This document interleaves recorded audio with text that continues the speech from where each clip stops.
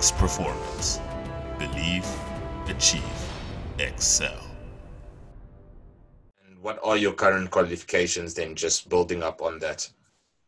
So I've got. I'm currently um, waiting to take my, well, finalise my level 2 Mhm. Um, I started that in October last year. So I've done three modules. Um, I've done one in September, October, December, and then I had we have two in-situ visits. Mm.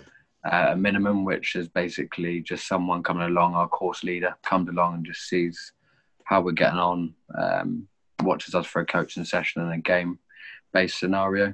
Mm. So I've had my first one, which was pre-lockdown, COVID in March. Mm, Um, and then since then, I've just not, I've literally just only been able to start back up again. So I will be looking to get the second part of that completed within the next month or two, just once that's arranged, and then hopefully push on to get my UEFA B.